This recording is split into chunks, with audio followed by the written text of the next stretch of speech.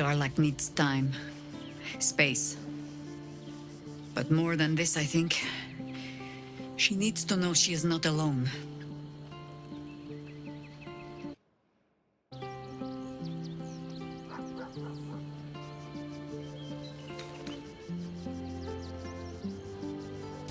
I wish I could.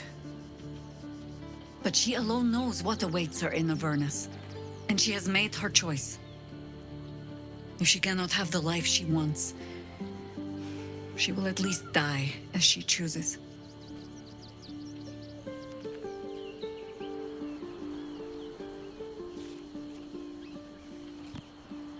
Good.